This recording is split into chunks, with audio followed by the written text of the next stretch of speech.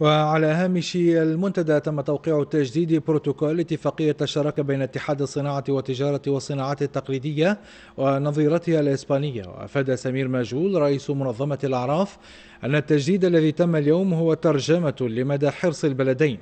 على مزيد تعزيز التعاون في عديد القطاعات وأهمها الاستثمار الإسباني في مجال الإسمنت وأكد أن النجاح في تحقيق هذا الهدف يتوقف على ضمان المناخ الاقتصادي والاجتماعي السليم. إذا كان إحنا المستثمرين الحاليين الإسبان في تونس نشجعوهم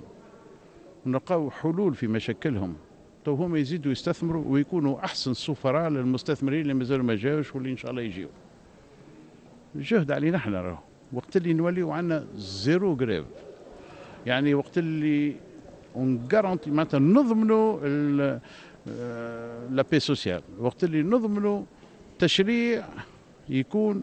واضح تشريع استثماري يكون واضح خلي نخلقوا يعني استثمارات جدد خلي نخلقوا مواطن شغل خلي نجلبوا الاستثمار الأجنبي ونجلبوا خاصة الاستثمار اللي هو موجه للتصدير